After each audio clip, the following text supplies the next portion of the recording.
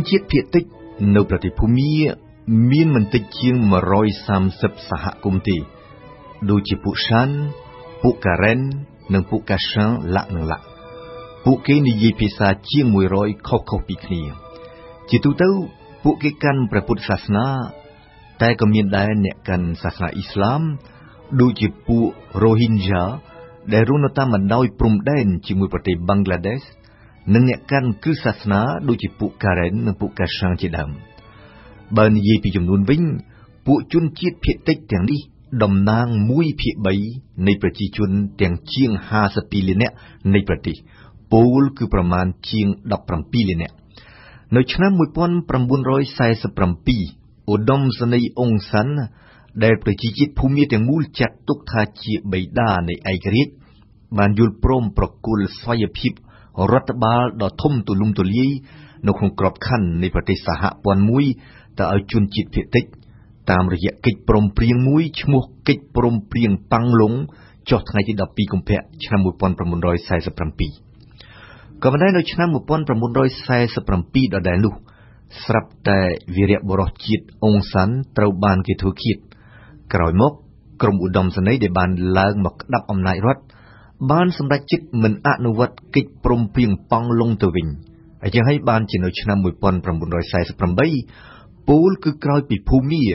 បានទទួលឯករាជ្យពីប្រទេសអង់គ្លេសជាផ្លូវការហើយពួកជនជាតិភាគតិចសំខាន់សំខាន់រួមមានជាអាចពួកការ៉ែនពួកសាន់និងពួកកាសាំងបានចាប់អាវុធប្រយុទ្ធនឹងរដ្ឋាភិបាលទីក្រុងរ៉ុងហ្គូនគោលដៅគឺផ្ដាច់រដ្ឋរបស់ពួកគេនៅតាមបណ្ដោយព្រំដែនជាមួយប្រទេសចិន ឬនៅតាមបណ្ដោយព្រំដែនជាមួយប្រទេសថៃចេញពីការត្រួតត្រារបស់រដ្ឋអំណាចភូមា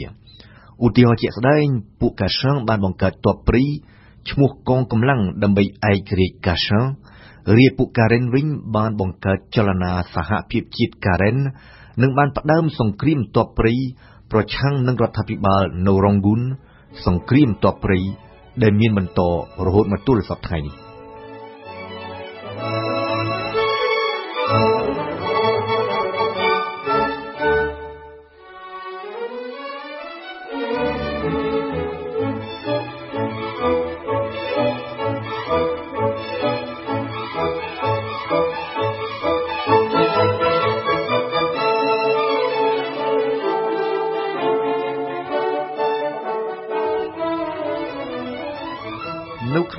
ភូមិភាគអាស៊ីអាគ្នេយ៍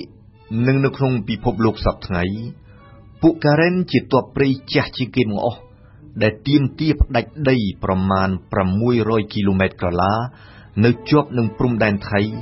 ចេញពីការត្រួតត្រារបស់ប្រទេសភូមាតំបន់នោះជាភាសាការ៉េនមានឈ្មោះថាកៅទូឡៃប្រែថាប្រទេសសម្បូរផ្ការហូតមកទល់ពេលថ្មីៗនេះរដ្ឋាភិបាលភូមា ដែលប្រើមធ្យោបាយវាបបង្ក្រាបយ៉ាងសាហាវព្រៃផ្សៃជាទីបំផុត នៅតែយកជាជំនះទៅលើកងទ័ពសហភាពជាតិការ៉េនមិនបាន បានត្រឹមរុញច្រានទ័ពព្រៃនេះនិងប្រជាជនការ៉េនចូលកាន់តែជ្រៅទៅក្នុងព្រៃនិងចូលទៅក្នុងទឹកដីថៃ ជាទីដែលពួកគេរស់នៅយ៉ាងវេទនាតាមជំរំនានា មានទលហេក2ដែលអាចបញ្យល់ការប្រឹងប្រែងតស៊ូស្លាប់រស់របស់ពួកទ័ពព្រៃការ៉េនទី1 ពួកការ៉ែនគ្មានជំរឿសអ្វីផ្សេងក្រៅពីប្រយុទ្ធស្លាប់រស់ពីព្រោះរហូតមកទល់ពេលថ្មីថ្មីនេះរបបសឹកភូមាគ្មានបំណងចង់ចរចាជាមួយពួកជនជាតិភាគតិចឡើយហើយបានអនុវត្តនយោបាយមួយដែលគេអាចវិតម្លៃថាជាអំពើប្រល័យពូជសាសន៍កងទ័ពភូមាតែងតែបានដុតបំផ្លាញគ្មានសល់ភូមិស្រុកនិងស្រូវអង្គររបស់ពួកការ៉ែនបានកាប់សម្លាប់បរោះនិងរំលោភស្ត្រី។ ទី2ពួកការ៉ែនដែលមានគ្នាប្រមាណ7លាននាក់ជាជនជាតិសាសន៍មួយស្រេចទៅហើយទោះជាគ្មានប្រទេស និងគ្មានស្ថាប័នគ្រប់គ្រងមមមួនក៏ដោយ ពីព្រោះពួកគេមានប្រវត្តិសាស្ត្រភាសានិងវប្បធម៌ច្បាស់លាស់ខុសពីជនជាតិភាគតិចដទៃផ្សេងនៅភូមាដូចជាពួកសាន់ជាដើមមិនតែប៉ុណ្ណោះប្រទេសថៃដែលបានគ្រប់គ្រងពួកទ័ពព្រៃការ៉ែនអស់ជាច្រើនឆ្នាំបានបែរមកត្រូវរូវជាមួយរបបភូមាវិញ ពីព្រោះថៃក៏ដូចភូមាដែរជាសមាជិករបស់អាស៊ាន ហើយពីព្រោះថៃឥឡូវត្រូវការប្រយោជន៍សេដ្ឋកិច្ចជាមិនរួចពីរកស៊ីជាមួយប្រទេសភូមានិយាយបែបផ្សេងរដ្ឋាភិបាលទីក្រុងបាងកកលែងត្រូវការពួកទ័ពព្រៃការ៉ែនដើម្បីបង្កើតឲ្យមានតំបន់ទ្រនាប់នៅចន្លោះប្រទេសខ្លួន និងប្រទេសភូមាទៀតហើយ តែត្រូវការអភិវឌ្ឍតំបន់បណ្ដោយព្រំដែនដោយតាក់ទងផ្ទាល់ជាមួយរបបភូមា គឺនៅក្នុងក្របខ័ណ្ឌនៃប្រយោជន៍សេដ្ឋកិច្ចនេះហើយដែលនៅឆ្នាំ2005ភូមានិងថៃបានយល់ព្រមព្រៀងគ្នាថានឹងសាងសង់ទំនប់វារីអគ្គិសនីចំនួន4នៅលើទន្លេសាឡួនក្រៅពីប្រយោជន៍សេដ្ឋកិច្ចដែលបានមកពីទំនប់វារីអគ្គិសនីទាំង4ភូមិមានគោលដៅនយោបាយមួយច្បាស់នោះគឺពន្លិចទៅក្នុងទឹកស្រុកភូមិកំណើតលំនៅឋាន និងដំណាំដាំដុះរបស់ពួកការ៉េនពេលណា ទំនប់ទាំង4នេះត្រូវសាងសង់រួចរាល់ហើយនោះទឹកទន្លេសាឡួននឹងជន់ឡើង200ម៉ែត្រយ៉ាងតិច ដែលជាហេតុនឹងបណ្ដាលឲ្យតំបន់ពួកការ៉េនលិចលង់អស់គ្មានសល់នៅពេលនោះមិនត្រឹមតែតបព្រៃការ៉េនប៉ុណ្ណោះទេដែលនឹងត្រូវវិនិច្ឆ័យសាបសូន្យពូជសាសន៍ការ៉េនទាំងមូលនឹងអាចរលត់បាត់បង់ទៅទៀតយ៉ាងណាក៏ដោយតាំងពីខែវិច្ឆិកាឆ្នាំ2011មករបបថ្មីភូមាដែលដឹកនាំដោយលោកប្រធានាធិបតី Thein Sein ចង់បញ្ចប់សង្គ្រាមដ៏រ៉ាំរ៉ៃជាមួយពួកជនជាតិភាគតិចរដ្ឋអំណាចស៊ីវិលនៅរដ្ឋធានីណៃពីដោដែលកំពុងបោះជំហានទៅរកលទ្ធិប្រជាធិបតេយ្យផ្ដើមចរចាជាមួយពួកជនជាតិភាគតិចហើយសម្រេចបានកិច្ចឈប់បាញ់គ្នាជាមួយពួកជនជាតិភាគតិចខ្លះដូចយ៉ាងជាមួយពួកសាន់នៅចុងឆ្នាំ2011និងជាមួយពួកការ៉េននៅដើមឆ្នាំ2012មិនតែប៉ុណ្ណោះលោក Tension ក៏បានបញ្ជាឲ្យកងទ័ពឈប់វាយប្រហារទៅលើពួកកាសានទៀតផង ប៉ុន្តែទន្ទឹមនេះតាំងពីខែមិថុនាឆ្នាំ2012មកពួករ៉ូហីនយ៉ាដែលជាអ្នកកាន់សាសនាអ៊ីស្លាមនៅក្នុងរដ្ឋអារ៉ាកាន់និងដែលគ្មានកងកម្លាំងប្រដាប់អាវុធដូចពួកការ៉េនពួកសាន់ឬពួកកាសាំងត្រូវប្រឈមមុខជាថ្មីនឹងការកាប់សម្លាប់ពីសំណាក់អ្នកកាន់ព្រះពុទ្ធសាសនាការកាប់សម្លាប់ទៅលើពួករ៉ូហីនយ៉ាប្រព្រឹត្តទៅដោយមានការគ្រប់គ្រងពីកងទ័ពនិងពីរដ្ឋអំណាចភូមាទៀតផងយ៉ាងណាក៏ដោយ ដោះស្រាយបញ្ហាជនជាតិភាគតិចមិនមែនជារឿងងាយស្រួលនោះទេ ពីព្រោះរដ្ឋាភិបាលភូមាមិនអាចបណ្ដោយឲ្យដែនដីទាំងអម្បាលម៉ានរបស់ពួកជនជាតិភាគតិចរបូតចេញពីការគ្រប់គ្រងរបស់ខ្លួនបានឡើយទន្ទឹមនេះទីក្រុងណៃពីដោក៏ដឹងច្បាស់ថាសន្តិភាពនឹងមិនអាចកើតឡើងបានទេបើសិនជានៅតែគ្មានទេនោះស្វ័យភាពធំទូលំទូលាយសម្រាប់ពួកជនជាតិភាគតិច។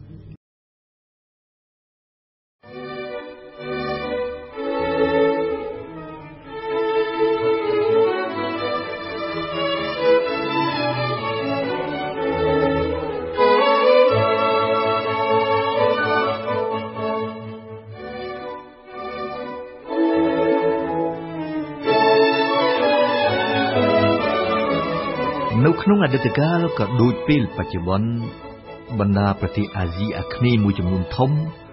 បានជួបនិងកំពុងបន្តប្រឈមមុខនឹងបាតុភិបទ័ពព្រៃនៅសម័យសង្គ្រាមត្រជាក់ទ័ពព្រៃដែលបានក្រឡុកធ្វើឲ្យរំជើបរំជួលអាស៊ីអាគ្នេយ៍ខ្លាំងជាងគេ គឺពួកបដិវត្តកុម្មុយនីសដែលបានងើបបះបោប្រឆាំងនឹងរបបនយោបាយណា ដែលមាននានាការផ្អៀងទៅរកសហរដ្ឋអាមេរិកពួកទ័ពព្រៃកុម្មុយនីសទាំងនោះថែមទាំងបានរំលំអំណាចនយោបាយនៃបណ្ដាប្រទេសអាស៊ីអាគ្នេយ៍មួយចំនួន នៅឆ្នាំ1975ទៀតផងដូចជានៅកម្ពុជាវៀតណាមនិងឡាវជាដើមផ្ទុយទៅវិញរដ្ឋអំណាចខ្លះបានវាយកំទេចគ្មានសល់ពួកទ័ពព្រៃកុម្មុយនីសជាក់ស្ដែងឥណ្ឌូនេស៊ី បានកំទេចពួកកុម្មុយនីសទាល់តែអស់នៅឆ្នាំ1954ម៉ាឡេស៊ីនៅឆ្នាំ1965ថៃនៅឆ្នាំ1980សប្តាហ៍នេះនៅអាស៊ីអាគ្នេយ៍មានតែប្រទេសហ្វីលីពីនមួយគត់ដែលត្រូវបន្តប្រឈមមុខនឹងទ័ពព្រៃកុម្មុយនីសក៏ប៉ុន្តែទ័ពព្រៃកុម្មុយនីសហ្វីលីពីនដែលមានឈ្មោះថាកងកម្លាំងថ្មីនៃប្រជាជន និងដែលប៉ុនប៉ងរំលំរដ្ឋាភិបាលតាំងពីឆ្នាំ1969មកឈប់ជាគ្រោះថ្នាក់ទៀតហើយសម្រាប់ទីក្រុងម៉ានីឡាក្រៅពីទ័ពព្រៃកុម្មុយនីសនៅក្នុងអតីតកាលក៏ដូចពេលបច្ចុប្បន្នបណ្ដាប្រទេសអាស៊ីអាគ្នេយ៍ខ្លះបានជួបឬកំពុងបន្តប្រឈមមុខនឹងទ័ពព្រៃដែលចេញមកពីស្រទាប់ជនជាតិភាគតិចឧទាហរណ៍ទ័ពព្រៃការ៉េននៅភូមា ទ័ពព្រៃម៉ុងនៅឡាវនិងនៅវៀតណាមនិងមកទល់ពេលថ្មីៗនេះចលនាអច្ឆេសរីនៅឥណ្ឌូនេស៊ីជាដើមជាទូទៅទ័ពព្រៃទាំងអស់នេះមានគោលដៅតែមួយដូចគ្នានោះគឺទាមទារផ្ដាច់ទឹកដីចេញពីការត្រួតត្រារបស់អំណាចនយោបាយកណ្ដាលឧទាហរណ៍ជាក់ស្ដែងនៅភូមាពួកការ៉ែនបានងើបបាបោប្រឆាំងនឹងរដ្ឋអំណាចតាំងពីឆ្នាំ1948មកម្លេះ ពោលគឺក្រោយពីប្រទេសភូមា បានទទួលឯករាជ្យពីប្រទេសអង់គ្លេសភ្លាមចំណែកពួកមុងវិញ ដែលសប្តាហ៍មានចំនួនប្រមាណ5សែននាក់នៅវៀតណាម និងប្រមាណ3សែននាក់នៅឡាវជាជនជាតិភាគតិចដែលសហរដ្ឋអាមេរិកបានប្រើឲ្យប្រឆាំងនឹងទ័ពកុម្មុយនីសរបស់ហ៊ូជីមីននៅក្នុងសង្គ្រាមវៀតណាមពីឆ្នាំ1964ដល់ឆ្នាំ1975 និងដែលសហរដ្ឋអាមេរិកបានប្រើឲ្យប្រឆាំងនឹងទ័ពកុម្មុយនីសប្រទេសឡាវនៅប្រទេសឡាវនៅដើមទសវត្សរ៍ទី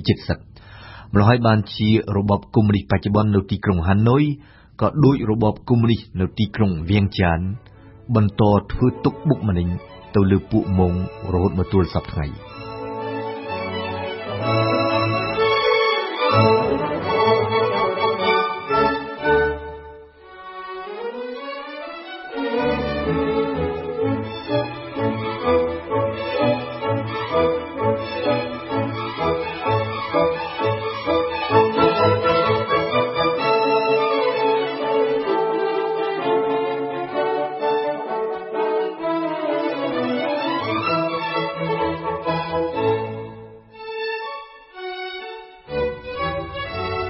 យ៉ាងណាក៏ដោយតាំងពីមានមហាភេរវកម្មថ្ងៃទី11ខែកញ្ញាឆ្នាំ2001នៅសហរដ្ឋអាមេរិករួចមកគេដូចជាមិនសូវចាប់អារម្មណ៍ទៀតឡើយទៅលើតបព្រៃកុម្មុយនីសឬទៅលើតបព្រៃរបស់ជនជាតិភាគតិចនៅអាស៊ីអាគ្នេយ៍តាំងពីឆ្នាំ2001មកអ្វីដែលធ្វើឲ្យរដ្ឋអំណាចនៃបណ្ដាប្រទេសអាស៊ីអាគ្នេយ៍មួយចំនួនបារម្ភខ្លាំងគឺតបព្រៃអ៊ីស្លាមជ្រុលនិយម។ សកម្មភាពរបស់ពួកតបព្រៃអ៊ីស្លាមជ្រុលនិយមបានស្ដែងឡើងតាមរយៈភារវកម្មទ្រង់ទ្រាយធំមួយចំនួន ដែលបានធ្វើឲ្យផ្អើលពិភពលោកកាលពីប៉ុន្មានឆ្នាំមុនដូចជាភារវកម្មនៅបាលីប្រទេសឥណ្ឌូនេស៊ីថ្ងៃទី12ខែតុលាឆ្នាំ2002និងនៅទីក្រុងយ៉ាកាតាថ្ងៃទី5ខែសីហាឆ្នាំ2003ជាដើមទ័ពព្រៃអ៊ីស្លាមជននិយមបង្កភារវកម្មក្រឡុកឲ្យរំជើបរំជួល និងធ្វើសកម្មភាពវាយឆ្មក់ជាពិសេសនៅក្នុងប្រទេសអាស៊ីអាគ្នេយ៍ណាដែលប្រជាជនភាគច្រើនជាអ្នកកាន់សាសនាអ៊ីស្លាមដូចជានៅឥណ្ឌូនេស៊ីឬក៏នៅក្នុងប្រទេសអាស៊ីអាគ្នេយ៍ណាដែលមានជនជាតិភាគតិចជាអ្នកកាន់សាសនាអ៊ីស្លាមដូចជានៅខាងត្បូងប្រទេសហ្វីលីពីននិងនៅខាងត្បូងប្រទេសថៃជាដើមនៅប្រទេសឥណ្ឌូនេស៊ីអ៊ីស្លាមជននិយមបានផ្ដើមមានសកម្មភាពខ្លាំងនៅក្នុងទសវត្សរ៍ទី90ជាពិសេសនៅក្នុងតំបន់ម៉ូឡុក ជាទីដែលពួកអ្នកកាន់សាសនាអ៊ីស្លាមធ្វើទុកបុកម្នេញខ្លាំងទៅលើពួកអ្នកកាន់គ្រិស្តសាសនារៀននៅប្រទេសហ្វីលីពីនវិញពួកអ៊ីស្លាមជននិយមបានបង្កើតចលនាតបព្រៃឡើង តាំងពីទសវត្សរ៍ទី70មកម្លេះរួមមានជាអាចរណសេម៉ូរ៉ូរំដោះជាតិនិងរណសេម៉ូរ៉ូអ៊ីស្លាមរំដោះតបព្រៃទាំងពីរនេះមានមហិច្ឆតាបង្កើតរដ្ឋអ៊ីស្លាមមួយដែលគ្របយកកោះមីដាណាវស៊ូឡូនិងហូឡូ ប្រទេសម៉ាឡេស៊ីវិញជាប្រភពដើមនៃចលនាភេរវកម្មល្បីឈ្មោះជាងគេនៅអាស៊ីអាគ្នេយ៍នោះគឺ Jemaah Islamiyah ក៏ប៉ុន្តែអ្វីត្បិតតែបានកកើតឡើងនៅម៉ាឡេស៊ីនិងត្រូវបានបង្កើតឡើងដោយពួកជនជាតិម៉ាឡេស៊ីក៏ដោយក៏ចលនា Jemaah Islamiyah មិនដែលបង្កភេរវកម្មទ្រង់ទ្រាយធំនៅក្នុងប្រទេសម៉ាឡេស៊ីទេចលនានេះបែរជាបានវាយប្រហារខ្លាំងទៅលើប្រទេសជិតខាងទៅវិញដូចជាប្រទេស ឥណ្ឌូនេស៊ី និងប៉ែកខាងត្បូងប្រទេសថៃទៀតផងក៏មិនដឹង ត្បូង